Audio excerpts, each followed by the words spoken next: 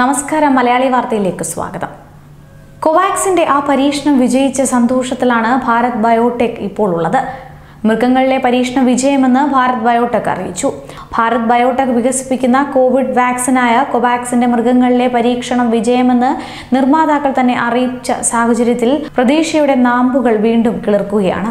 ഇന്ത്യയിലെ ഒന്നാം ഘട്ട ക്ലിനിക്കൽ പരീക്ഷണങ്ങളിൽ കോവാക്സിൻ മൃഗങ്ങളിൽ രോഗപ്രതിരോധ ശേഷിയും പ്രകടമായി കഴിഞ്ഞു. കോവാക്സിന്റെ മൃഗങ്ങളിലെ പരീക്ഷണ ഫലങ്ങൾ ഭാരത് ബയോടെക് അഭിമാനപൂർവം പ്രഖ്യാപിക്കുന്നുവെന്നും പരീക്ഷണത്തിൽ വാക്സിൻ ഫലപ്രാപ്തി പ്രകടമാകുന്നുവെന്നും ഹൈദരാബാദ് ആസ്ഥാനമായുള്ള സ്ഥാപനം ട്വീറ്റ് ചെയ്യുകയായിരുന്നു. വാക്സിൻ മനുഷ്യരിൽ പരീക്ഷിക്കുന്നത് കമ്പനി ഇതിനകം തന്നെ ആരംഭിച്ചിരുന്നു. തദ്ദേശമായി വികസിപ്പിക്കുന്ന വാക്സിൻ രാജ്യത്തുടനീളമുള്ള പന്ത്രണ്ട് സ്ഥാപനങ്ങളിലാണ് പരീക്ഷിക്കുന്നത്.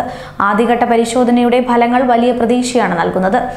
I C M R National Institute of Virology എന്നിവയുമായി ചേർന്നാണ് ഭാരത് ബയോടെക് വാക്സിൻ വികസിപ്പിക്കുന്നത്.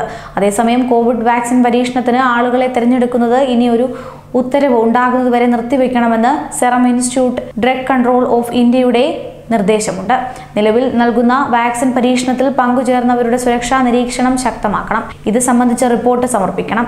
പരീക്ഷണത്തിന് ആളുകളെ തിരഞ്ഞെടുക്കുന്നത് പുനരാരംഭിക്കുന്നതിന് മുൻപ് യു കെയിലെയും ഇന്ത്യയിലെയും ഡാറ്റ ആൻഡ് സേഫ്റ്റി മോണിറ്ററിംഗ് ബോർഡിൽ നിന്നുള്ള ക്ലിയറൻസ് സർട്ടിഫിക്കറ്റ് സമർപ്പിക്കാനും ഡി ആവശ്യപ്പെട്ടിട്ടുണ്ട്.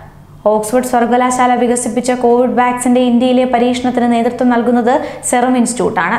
നിലവിൽ ഓക്സ്ഫോർഡ് കോവിഡ് വാക്സിൻ രണ്ടും മൂന്നും ക്ലിനിക്കൽ പരീക്ഷണ ഘട്ടത്തിലാണുള്ളത്. യു കെയിൽ വാക്സിൻ കുത്തിവെച്ച ഒരാൾക്ക് കഴിഞ്ഞ ദിവസം അജ്ഞാത രോഗം കണ്ടെത്തിയ സാഹചര്യത്തിൽ ഓക്സ്ഫോർഡ് ആസ്ട്രാസെനക്ക വാക്സിനെ അവസാനഘട്ട പരീക്ഷണം നിർത്തിവച്ചിരുന്നു. അജ്ഞാത രോഗം കോവിഡ് പ്രതിരോധ മരുന്നിന്റെ പാർശ്വഫലമാണിതെന്ന് സംശയമാണുള്ളത്. എന്നാൽ ഇന്ത്യയിലെ പരീക്ഷണം തുടരാനായിരുന്നു തീരുമാനം. കോവിഡ് വാക്സിന്റെ ഇന്ത്യയിലെ പരീക്ഷണങ്ങളുമായി ബന്ധപ്പെട്ട് ഇതുവരെ പ്രശ്നങ്ങളൊന്നുമില്ല. അതിനാൽ ഇന്ത്യയിൽ പരീക്ഷണം തുടരുകയാണെന്നാണ് സെറം ഇൻസ്റ്റിറ്റ്യൂട്ട് വെളിപ്പെടുത്തിയത്. ന്യൂസ് ഡെസ്ക് മലയാളി വാർത്ത.